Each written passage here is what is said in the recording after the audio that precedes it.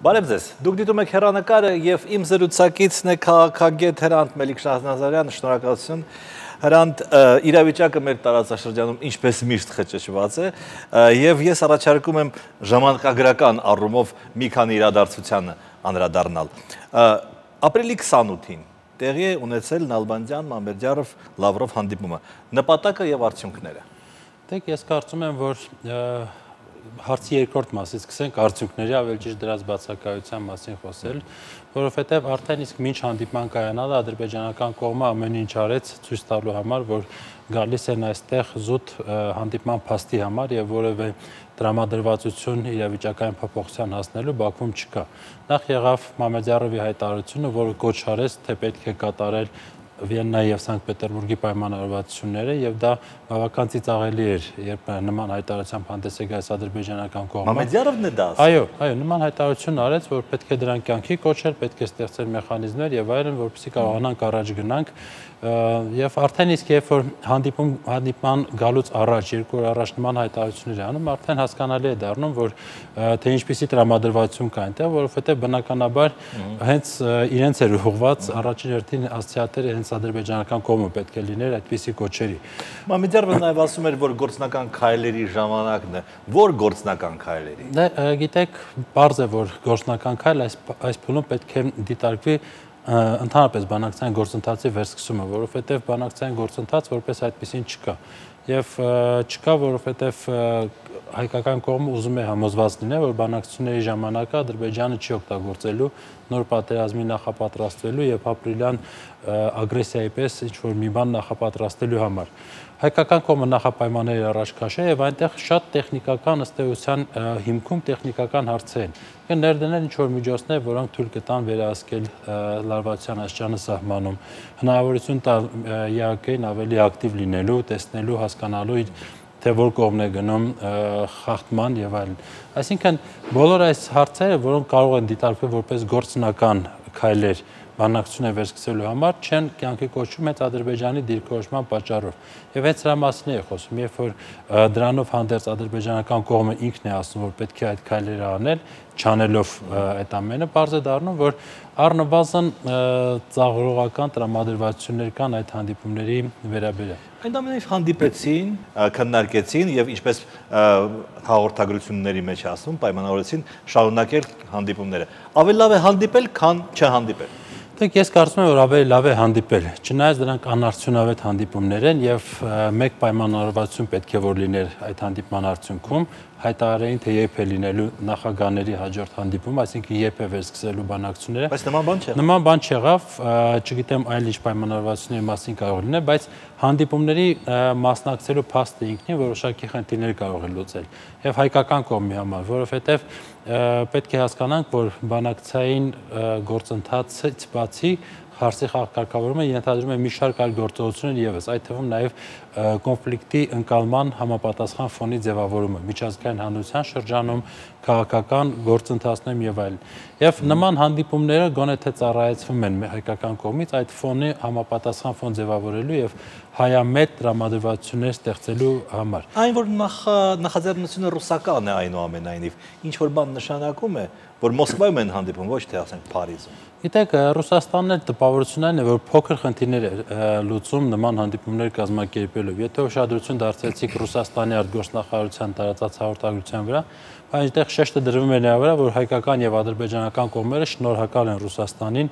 աջակցելու համար։ Նրանք սպասում են, որ մենք շնորհակալություններ եւ որպես խաղարար ներկայանալու խնդիր է, թվում է թե լուծում Ռուսաստանը։ Իհարկե հասկանալի է, որ Ռուսաստանին առաջի հերթին է հետաքրքրում այս հակամարտության ապագա հնարավոր զարգացումները, որովհետև այն տարածաշրջանում է, որ Ռուսաստանի համար կենսական նշանակություն ունի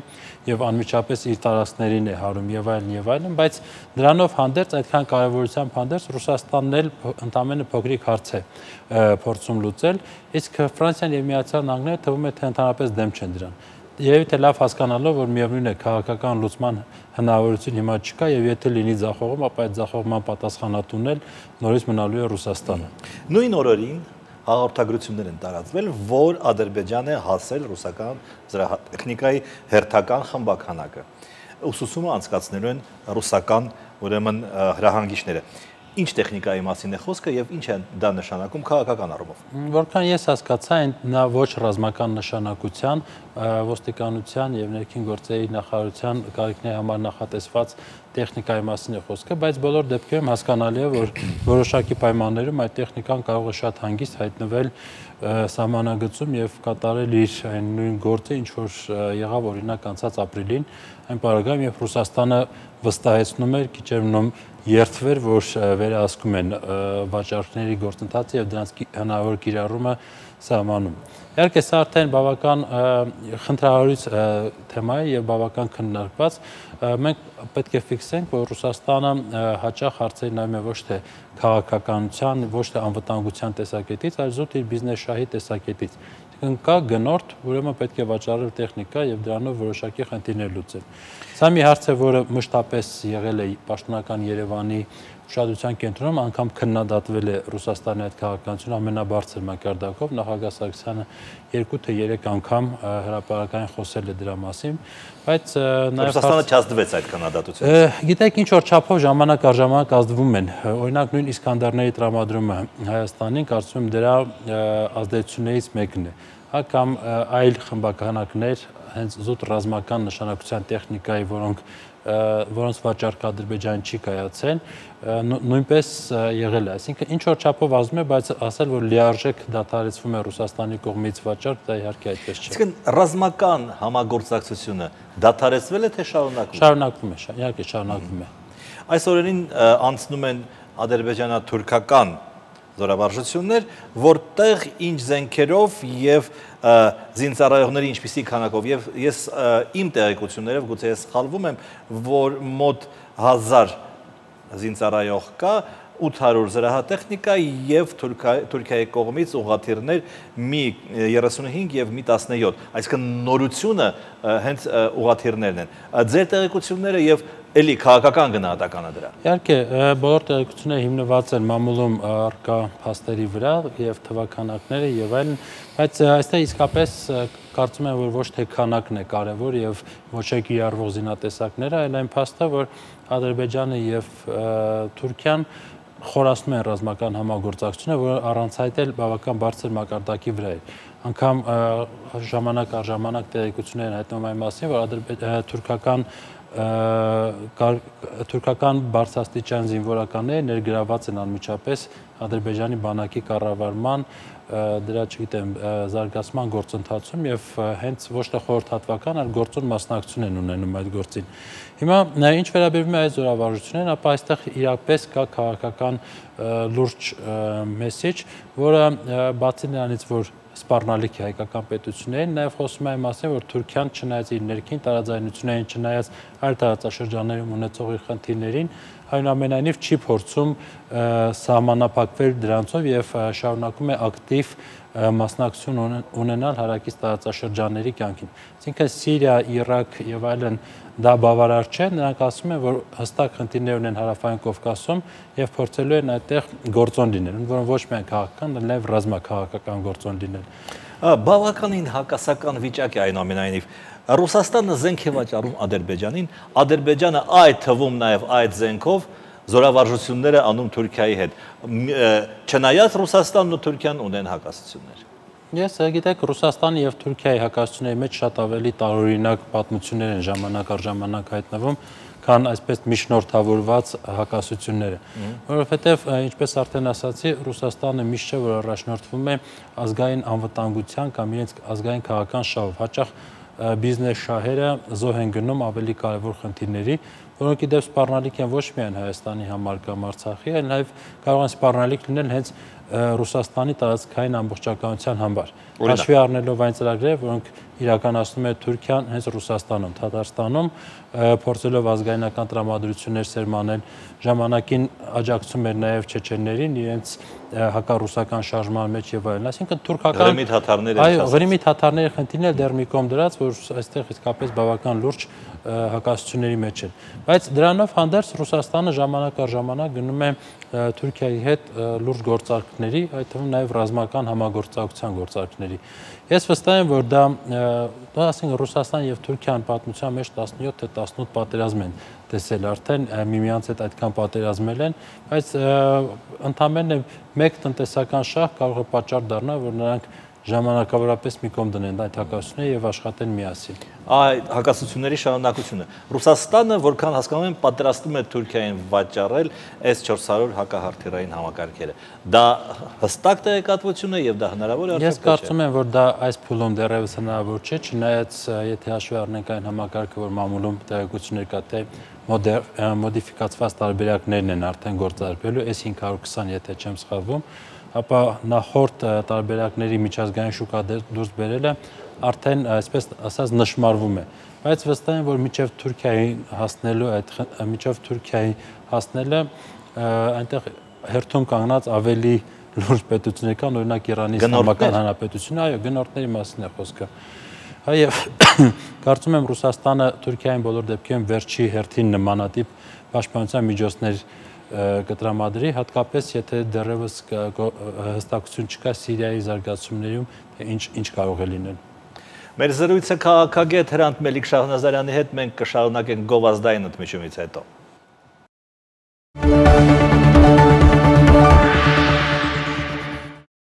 Դուք դիտում եք հերանեկարը եւ ես զրուցում եմ քաղաքագետ Հրանտ Մելիք Շահնազարյանի հետ։ Տեսեք Հրանտ, ստացվում է, որ մեզ տալիս են կամ գուցե վաճառում են Իսկանդեր եւ հետո Թուրքիային հնարավոր է տան զենք, որը պաշտպանում է Իսկանդերից։ Այսինքն դա էլի բիզնես տրամաբանության մեջ է տեղավորվում։ Մենք գիտեք, ռազմաքաղաքական զարգացումների վերջի 2000 տարվա տրամաբանությունը հենց այդ է։ Այո, մեկին տալիս են հարվածելու հնարավորություն, մյուսին տալիս են պաշտպանելու հնարավորություն։ Եվ մեջը փոխել։ Եվ դա թույլ է տալիս իրենց այդ շուկաները վերահսկել ապագա տարիների համար։ Իհարկե հասկանալի է, որ Հայաստանին տրամադրված Իսկանդերը դժվար թե կիրառվի Թուրքիայի դեմ, ընդհանրապես Թուրքիային զսպելու եւ նրանց ռազմական ախորժակները կանխելու քաղաքականությունը հայկական նա հիմնված է հիմնականում ոչ թե ռազմական պոտենցիալ ապահովելու, այլ միջազգային զսպման մեխանիզմներ կիրառելու, այդ թվում նաև հայկական հարցը որպես Թուրքիայի ակտիվությունը կանխող գործոն օգտագործելու այդ մարտավարության մեջ։ Եվ Իսկանդերները նրանք ավելի շատ տրամադրված են կամ նախատեսված են Ադրբեջանի հնարավոր ագրեսիան զսպելու համար։ Բայց բոլոր դեպքերում այո, ինչու ոչ, եթե կա տեսական հնարավորություն, որ մեկ օր այդ զենքը կարող է օգտագործվել Թուրքիայի դեմ, Թուրքիան կարող է դա որպես պատրվակ օգտագործելով պահանջել պաշտպանոց չմեջոցներ կամ փոխարենը այլ կերպ հավասարակշռություն ապահով, ոչ թե զինվորական, թեկուզ տնտեսական ոլորտում եւ այլն։ Քաղաքական առևտուրը, ռազմաքաղաքական առևտուրը, որը նոր երևույթ չէ եւ որը հասկանալի է շարունակվել լինելու է նաեւ ապագայում։ Ես այսպեսի բան եմ կարդացել, որ Թուրքիան սկզբից ցանկանում էր գնել չինական հակահրթիռային համակարգերը, որոնք ավելի էժան են, բայց ավելի վատն են։ Բայց այն բանից հետո, երբ Իսկանդերը տրամադրվեց Հայաստանին, նրանք գերադասեցին ավելի թանկը ռուսականը, բայց ավելի լավը։ Այսինքն Իսկանդեր տրամադրելով նրանք բարձրացնում են իրենց համակարգերի հակահարթերային համակարգերի գինը։ Տրամաբանական է թե չէ։ Շատ, շատ տրամաբանական է, հատկապես ինչպես արդեն ասացի, նրանք ունեն մոդիֆիկացված տարբերակը, մշակվում է եւ շուտով արդեն շահագործման կհանձնվի, եւ այդ պարագայում հին տարբերակները հակաօթային պաշտպանության այդ համակ համակարգերի այս 400-ները կարող են դառնալ միջազգային առևտրում բավական այսպես եկամուտ բերող եւ ինչու՞ չէ նաեւ շահեկան գործիքներ։ Այսինքն բոլոր դեպքերում հասկանալի է եւ փաստ է ուշ թե շուտ այդ S400-ները վաճառքի են դուրս բերվելու, ինչպես որ դա եղել է S300-ների հետ, իսկ մինչ այդ S200, S120-ի հետ եւ այլն զարգանում է այդ շուկան եւ Ռուսաստանը փորձելու է մրցակցային լինել ոչ միայն պաշտպանության տեսակետից, այլ նաեւ այդ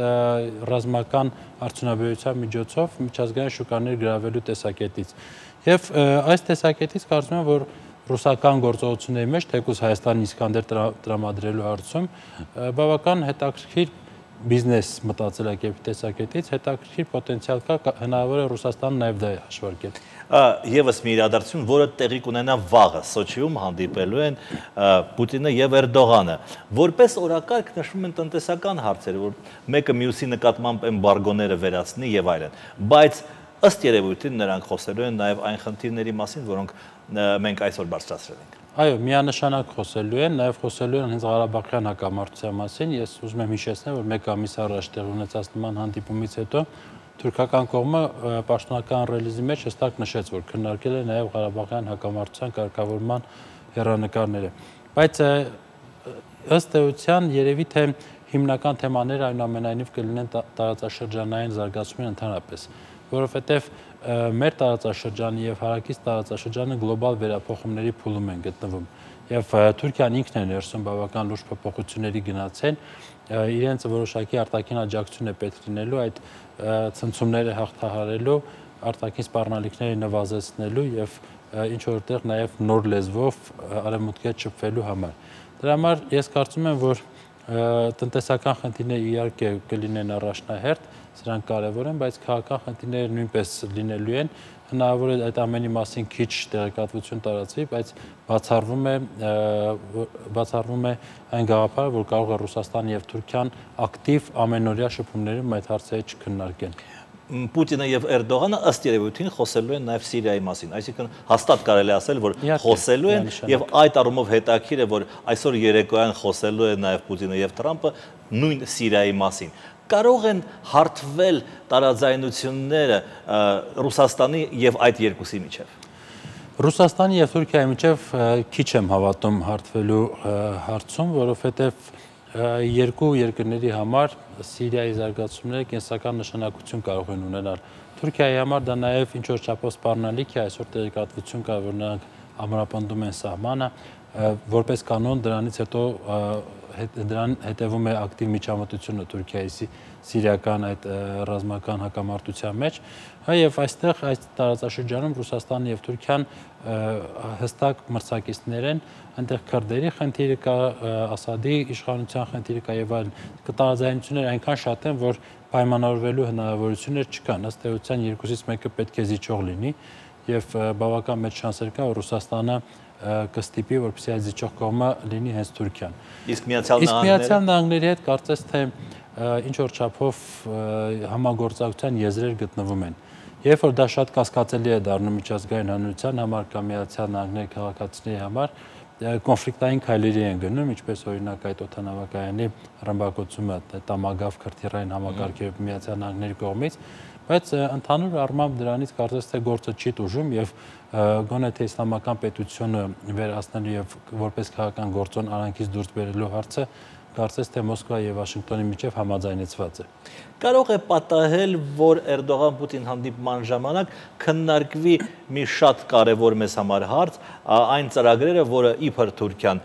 նախատեսում է Նախիջևանում ռազմաբազա ստեղծելու մասին, թե դա զուտ դատարկ սպառնալիք է դժվար է ասել, ես իրապես հստակ տեղեկատվություն այս բանին չես կարող ունենալ, թե կքննարկեն արդյոք Պուտինը եւ Թրամփը այս խնդիրը։ Էրդողանը Էրդողանի հետ հա ներողություն։ Պուտինը եւ Էրդողանը, որտեվ Թուրքիան է պատրաստվում դա անել, կամ չի պատրաստվում, չգիտեմ։ Կամ չի պատրաստվում, որտեվ փաստացի գիտեք Ադրբեջան Նախճիվանում ստեղծված է առանձին բանակային կորպուս, որը շատ անկախ է Ադրբեջանի պաշտպանության նախարարությունից եւ վաղուց գործնականում թուրքական է ըստ այո Թուրքիային այսինքն իրավական խնդիրներ ստեղծելու համար ասած մեղմ ասած ոչ բարենապաստ ժամանակաշրջան է հիմա եւ դժվար թե Թուրքիան իսկապես գնա առանձին նման գործողություն։ Ինչ իրավական խնդիր կստեղծվի։ Իհարկե կապված նաև ներողություն Կարսի պայմանագրով Նախճեվանի կարգավիճակի հետ, Կարսի եւ Ալեքսանդրապոլի այդ պայմանագիր Մոսկվա եւ Կարսի պայմանագիրների մասին է խոսքը, եւ ընդհանրապես Նախճեվանի կարգավիճակի, որովհետեւ այստեղ կա երաշխիքների անվտանգության երաշխիքների խնդիր, Ռուսաստանը դրանցից մեկն է, ռուսական կողմը եւ Թուրքիայի առավել մեծ ներգրավվածությունը այնտեղ հատկապես ռազմական տեսակետից միանշանակ չի ողջունելու Մոսկվայի կողմից։ Հասկանալի են, որ դրանով իսկ նրանք ճանապարհ են բացում Թուրքիայի ավելի լայն ներգրավվածության ամբողջ հարավային Կովկասում։ Հետևաբար փորձելու են Մոսկվա եւ Կարսի պայմանագրի դրույթներով այդ խնդիրը կանգնեցնել, այլ իրավական խնդիրները հենց այս պայմանագրերի շրջանակներում են առաջանում։ շատ մեղմ եք ասում, չի ողջունվելու։ Երբ որ Էստոնիայում կամ չգիտեմ Լեհաստանում կամ Բուլղարիայում նման բան է տեղի ունենում, Ռուսաստանը խիստ վրթովվում է։ Այո, բայց այստեղ հակակշիռներ կան։ Պետք է հիշել մշտապես, որ խոսքը վերաբերվում է ընդհանուր Սևծովյան տարածաշրջանի մասին, որտեղ նույն Ղրիմի հարցը կա, ինչպես դուք ճիշտ հիշեցրեցիք, եւ նաեւ մյուս կողմից էլ կա Ուկրաինայի խնդիր եւ Սիրիայի խնդիր, այսինքն առևտրի տեղը այստեղ բավական մեծ է, իրապես բավական մեծ է եւ ինչ որ զիջումների դիմաց Թուրքիայի կողմից Ռուսաստանը կարող է աշկ փակել, ինչպես արդեն ասացի, հաճախանում է ի հակառակ իր ազգային քաղաքական շահերի։ Բայց ամեն դեպքում չեմ կարծում, որ խնդիրը այնքան հասունացել է եւ այն աստիճանի ասել, որ հիմա կարող է նման հարց քննարկվել։ Բոլոր դեպքերում կարծում եմ, որ դա հնարավորություն կտա ընդհանրապես վերանայելու այդ Չարաբաստիկ երկու պայմանագրերը եւ Հայաստանի համար էլ հնարավորություն կտա քաղաքական եւ իրավաքաղաքական այլ հարթակներ տեղափոխել նույն Նախիջևանի հարցը։ Շնորհակալություն։ Քաղաքագետ Հրանտ Մերիկ Շահնազարյան, մենք խոսել ենք Ադրբեջանում տեղի ունեցող թուրք-ադրբեջանական զորավարժությունների մասին, որոնք կտեղեն մինչև մայիսի 5-ը, ինչպես նաև այն մասին, որ վաղը Սոչիում հանդիպելու են Պուտինը եւ Էրդողանը։ Դուք դիտում եք հերանեկարը, մենք կհանդիպենք վաղը։ Thank you